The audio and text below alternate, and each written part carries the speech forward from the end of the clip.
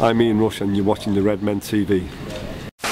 Hello, welcome to the Redmen TV special little show bringing to you now because of the news uh, doing the rounds that Luis Garcia, Lucho, 14 Garcia, for those of you who only know him on Twitter, um, announced his retirement from football, which is actually quite quite sad news, isn't it? Like you mean, I, I, I mean, not like it's not devastating like the day Jamie Carragher retired or anything like, but um, I want to have a, a couple of minutes just to just to remember the the good days, the good things that he did. I mean, Chris, for, for you, what we what what what does Luis Garcia mean to you? He's all about flair and unpredictability and just great goals, really, and, and one goal in particular, the ghost goal. Of course. um, Talksport were actually trying to drag that up earlier. They were saying like, email and tweeting. Was it was it a goal? I said yes, it was a goal. Yeah, the record book states it was a goal. Yeah, of course it was. Yeah, sorry, Chelsea fans. And it if, was it a goal. had, if it hadn't been a It'd goal, it would have been a centre-half the penalty pen, in the centre enough. So there you go. that's, the, that's the thing that always gets forgot about in that argument, isn't it? Mourinho can say it's a good goal, they shouldn't. have." Yeah, we actually he did you a favour doing everything in that Yeah, match. you kept because- it with 11 men on the pitch. Yeah, you'd have gone down. It was what four minutes in, something really early, wasn't it?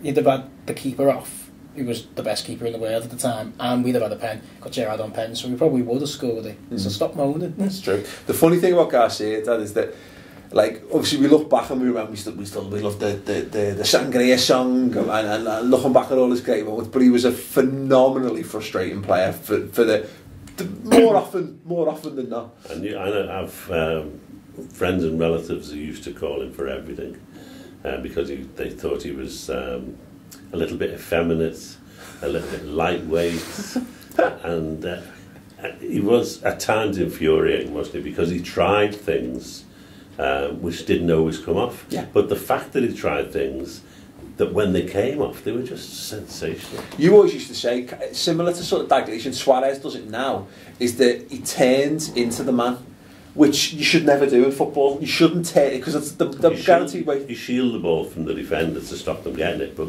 world class players don't. They, they actually go at the defender, Yeah. turn the ball into them, and that dis- discombobulates them.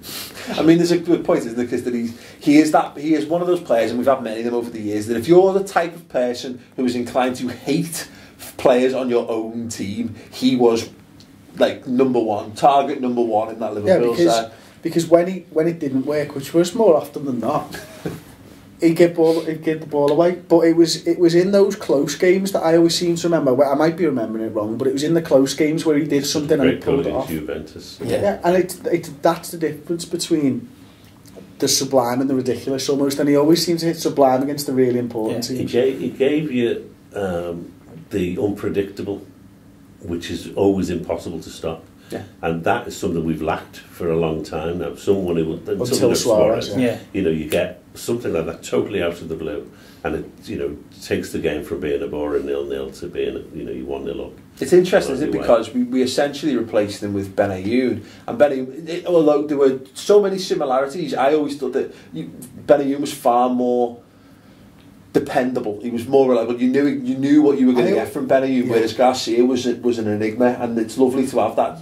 I also Quality. thought that Ben Ayoun, you're exactly right, he was more predictable. He only seemed to produce against the lesser teams yeah. for me.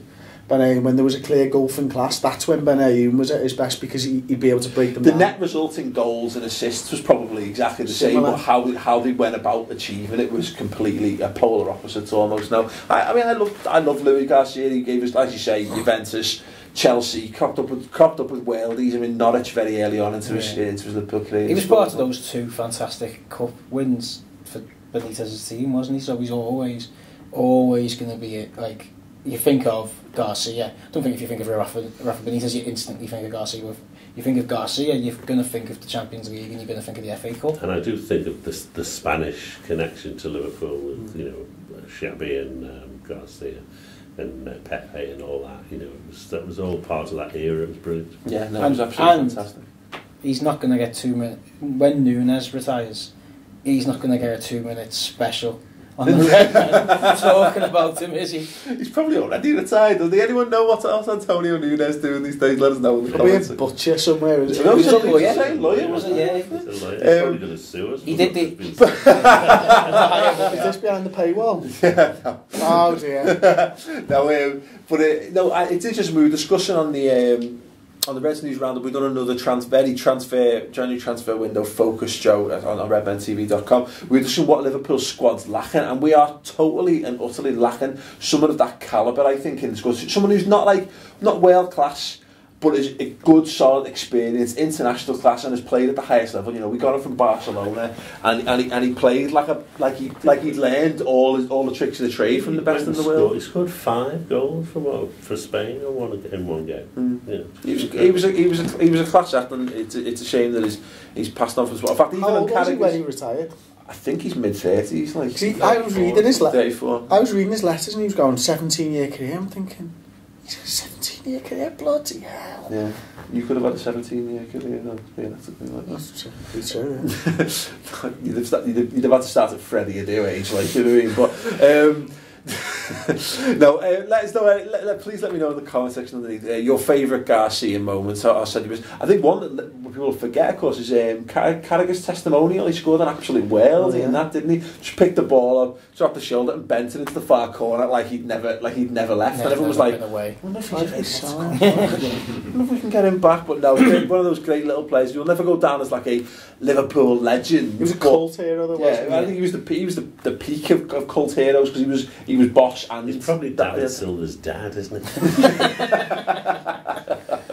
he he's certainly the mole. Anyway, yeah, let us know. Let us know your thoughts on Luis Garcia in the comment section of these. And yeah, if you want to watch more uh, Redmen TV Goodness, we're going to be discussing Liverpool's transfer prospects in far greater deal, uh, detail on the redmentv.com and the Reds News Roundup show this week. So check that out. It's free for a month, and after that, it's just £2 a month. So you've got nothing to lose essentially by trying it. So go for it. Anyway, thanks for watching. Uh, if you just want to watch on YouTube and you can't be out any more that, give it a thumbs up, give it a subscribe on YouTube, that's free, and, and, and share it on social media stuff. Anyway, thanks for watching and good night. Ta.